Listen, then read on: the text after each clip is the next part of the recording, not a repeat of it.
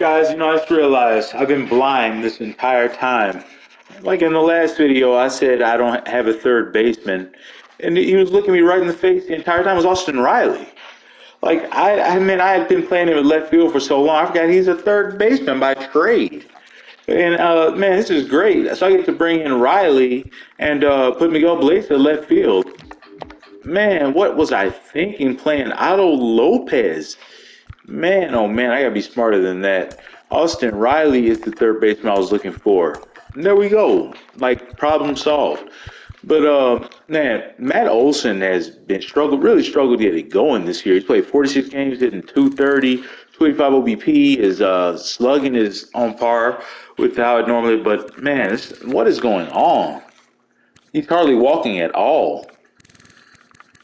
Hoping get this turned around. He's no no uh, wins above replacement. Uh, I gotta take him out the two spot. Like Riley's not much better. Um, let's see who can bat two for me. Probably Willie. I mean, he's done it before. Wilson down to the six. I mean, that sounds about right. There we go. Moving seven against lefties. But uh, yeah, man, I'm an idiot. Austin Riley. But yeah, he's back at uh, back at third base until uh, Chappie heals up.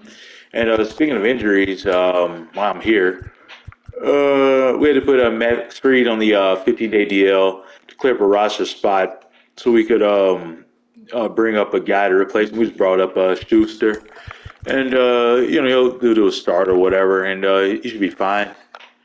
So uh, yeah, the injury bug has really bitten us hard this year. Uh, uh, was just out for a few days. He's uh, struggled tremendously, but um, yeah, just hoping we can get it going. Now we're at first place, two games over 500, but uh, hoping we can start to get some separation between us and the Phillies and the Mets here soon. Really, everybody in the division is competing. Even the Nationals aren't out of it. This is what I wanted. You know, this is uh, it's good competition. Brings out the best in us. But uh, yeah, so that's it for this update. Thanks for watching.